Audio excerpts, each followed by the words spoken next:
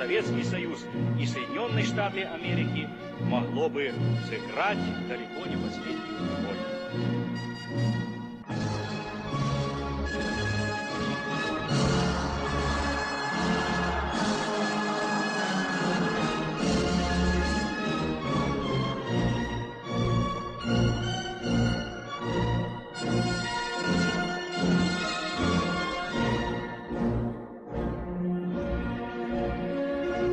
Mr. Gorbachev,